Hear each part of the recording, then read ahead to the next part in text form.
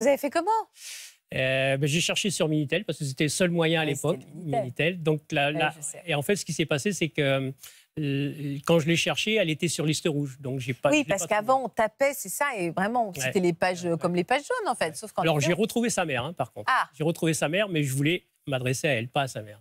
ah. Et donc, euh, et après, un peu plus tard, donc au fur et à mesure des, des mois, je, je- de temps en temps, je, je tapais. Et un jour, elle, est, elle, était, elle a plus été sur liste rouge. Et donc, euh, comment ça se fait? C'est que vous avez régulièrement cherché, et un jour, Ouais. son nom est apparu Voilà, son nom est apparu. Un jour. où, euh, il n'y en avait pas 15 des Nathalie. euh, ben non, il n'y en avait qu'une.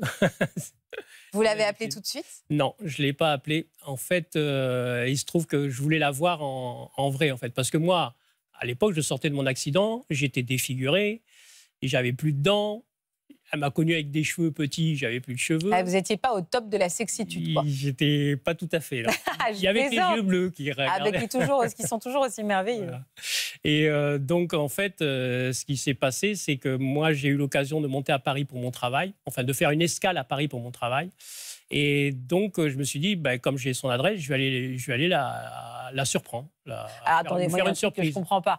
Vous avez peur parce que vous n'êtes pas au top euh, physiquement. Ouais. Vous auriez pu l'appeler, au moins elle ne vous voyait pas. Et vous vous dites non, non, je suis pas top physiquement, je vais directement aller la voir. Non, mais parce que je voulais avoir euh, le ressenti de suite. Ah, en fait, euh, moi, pour moi, le physique, il n'importe pas, pas, pas énormément. Enfin, pour moi, en tout cas. hein. Il faut Mais vraiment que je connaisse la personne. La confrontation réelle, en Ouais, fait. la confrontation L'émotion, réelle. le- ouais. le- Ouais, ouais, le- L'émotion euh, palpable. Le chrouchrougnouf. Ouais, enfin, je ne sais pas comment vous l'appelez. Bah, moi, je vous le dis, c'est mais comme ça. C'est possible. vous- vous regardez parfois l'émission? Mais bien sûr. Donc, chouchrogneux, vous savez ce que c'est? Euh, non, alors je ne regarde pas non plus tout le temps. Tout le D'accord. Eh ben, vous, le chouchrogneux, vous Oui, savez évidemment. ce que c'est? Bah, évidemment. C'est les papillons dans le ventre, c'est le frisson, c'est le.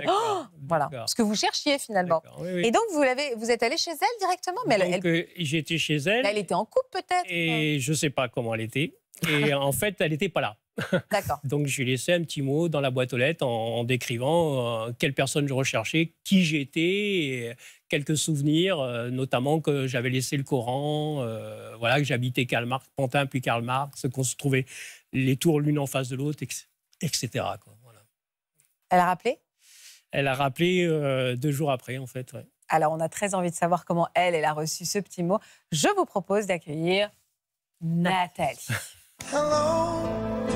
Oh, sur une si jolie chanson. Is it me you're for? Bonjour, Nathalie. Je vous en prie. I can see it in your smile. You're all I've ever wanted. Oh, les yeux qui posent sur vous. Just Oh là là là là là là, frisson un peu. Carrément. Incroyable ce regard. Est-ce que vous, vous aviez gardé ce petit Coran, Nathalie? Oh oui, je l'ai gardé jusqu'à aujourd'hui. Sauf que je ne sais plus où il est, mais il est, il est chez nous. Il est chez vous? Oui, oui. Euh, Qu'est-ce que vous gardiez, vous, comme souvenir de ce petit Frédéric? Est-ce que euh, euh, vous étiez attaché de la même manière? Est-ce que vous avez vécu les choses en parallèle? Pareil. Euh, Enfin, d'une certaine manière, j'avais gardé tout le temps d'abord ce, ce petit Coran. Et euh, je l'avais mis dans une petite boîte. Et de temps en temps, je, je regardais ma petite boîte et j'avais ce petit Coran. C'était un souvenir qui était agréable. Et, euh, et puis, euh, voilà, quoi. C'est tout. Je n'avais pas du tout d'intention, Bah, à part sûr. le fait que quand on me parlait que euh, les enfants, enfin que des personnes allaient euh, au Canada ou revenaient du Canada, Ah. je disais peut-être qu'elle connaît euh, Frédéric. euh. mais c'était euh, voilà. Vous avez été un peu amoureuse Vous aviez été un peu amoureuse quand vous étiez petite? Oui, oui, oui, oui, mais on se le disait jamais. Et euh, mais c'était un amour d'enfance. Voilà. Ouais. Pareil, dans la cour de récré, vous Oui. aimiez bien quand il faisait la, vous faisiez la princesse et lui le prince. Oui, oui, oui, oui. Alors, quand euh, vous avez reçu ce petit mot, qu'est-ce que qu'est-ce que vous avez ressenti?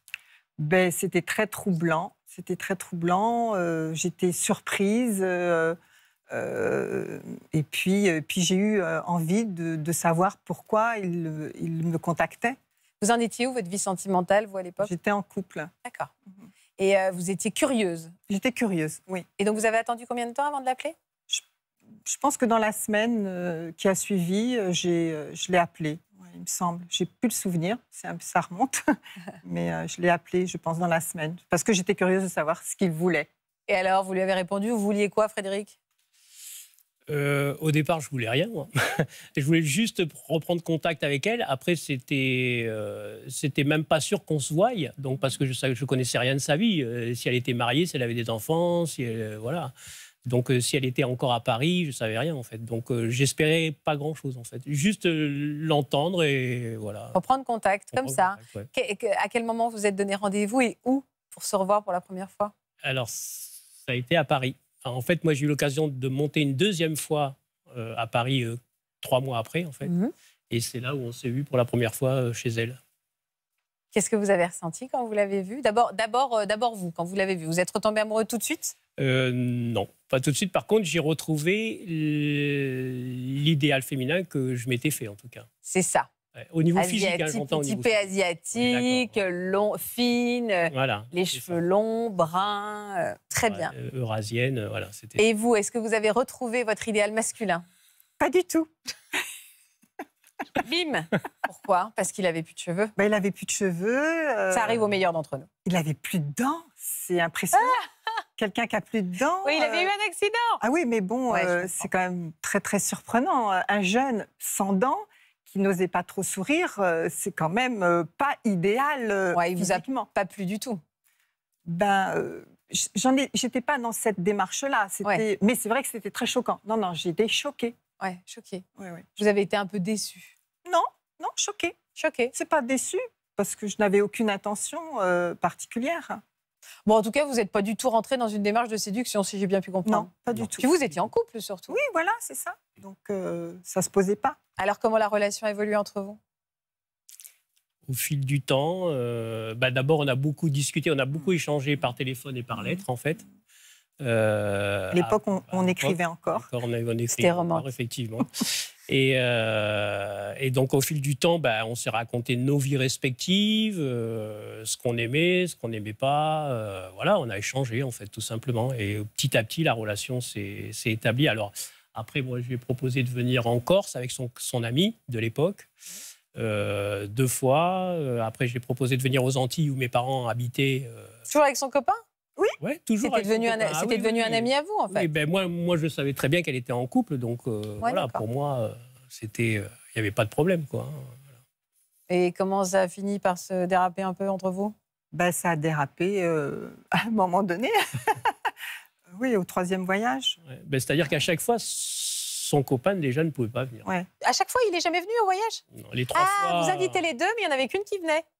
Ouais. Donc vous avez retissé une complicité, en fait. Oui, tout, Tout à fait, tout à fait, tout à fait, exactement. Et c'est vrai que, enfin moi, ce que je, je tenais à rajouter, c'est que comme euh, on- j'ai j'ai conscientisé quelque chose quand Frédéric est revenu. Bon, c'est vrai, quand il est parti, pardon, d'abord, euh, c'était au moment où mes parents divorçaient.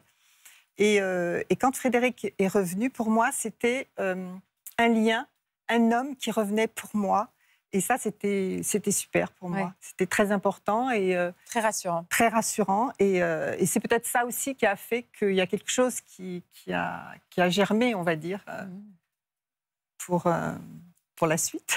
Après, euh, enfin moi, en tout cas de mon point de vue, depuis euh, la première fois où je l'ai vu, donc en CE1, euh, il y a toujours eu ce lien. Il y a, il y a un lien qu'on peut pas, un lien émotionnel en fait, ce que j'appellerais un lien émotionnel, c'est-à-dire qu'on ne sait pas euh, pourquoi et comment, mais il y est là en fait, tout simplement. Au retour de Guadeloupe, euh, donc on est arrivé à Paris et euh, moi je devais prendre le train. Et donc sur le quai de la gare, euh, juste avant de partir, je lui ai volé un baiser en fait. Vous avez Moi, je m'y attendais pas. Bah ouais. Mais vous n'avez pas dit non non plus. Ah ben, je- Ah mais je lui ai volé. un petit donc, baiser euh, d'enfant. Oui, un baiser, En fait. un oui, baiser oui, oui, d'enfant. oui. C'était un baiser Ah oui, d'enfant. Un, un baiser. Ouais. Sauf que ça Un vous, a volé. ça vous a travaillé. Ben, moi, ça m'a troublée encore une fois, dans une autre manière. Et c'est vrai que, euh, euh, en plus, juste avant, tu avais eu une conversation avec maman, Oui. hein, qui euh, était surprenante. Oui, Pourquoi en c'est fait, quoi, sa ça mère. C'est quoi Qu'est-ce que vient Qu'est-ce que votre mère vient faire là-dedans? Parce qu'elle nous avait accompagnés à, à la, À la gare? À la gare. D'accord. à la gare. Et en fait, euh, ben, on avait juste mangé avant et quand Nathalie s'est absentée aux toilettes et sa mère m'a dit euh, ça serait bien que vous soyez ensemble euh, parce que je la retrouve comme elle était avant et tout ça. Et donc, je me suis dit Ah. mais et pour l'instant non. Pour l'instant on est juste bon, très bon amis et puis voilà quoi. Donc, Et paf, vous l'avez embrassé. et je me suis, dé- je me suis décidé parce que bon, les liens se, se rapprochaient au fur et à mesure quand même. Ouais. Donc je sentais qu'il y avait quand même euh, quelque chose qui se passait. Donc euh, Il n'y a pas un moment où vous vous êtes dit c'est elle, vraiment, je le sens, je le sais? Euh, ben, c'est elle. euh, il me faut du temps. Il me faut du temps. Donc j'avais une attirance, j'avais de l'émotion, on s'entendait très bien, tout ça. Mais de là à dire c'est la femme de ma vie, Bah, Enfin, vous l'avez vous l'avez épousée ou pas? Ah oui, tout Bah à fait, alors, si oui. vous l'avez épousée, Oui, c'est qu'à un moment, après, vous êtes bien, bien après, quand même. Ah oui, mais alors il y a quand même eu un moment où vous vous êtes dit c'est la femme de ma vie. Ah, euh, alors, je, je me suis dit, c'est la femme de ma vie quand elle est venue vivre avec moi en Corse.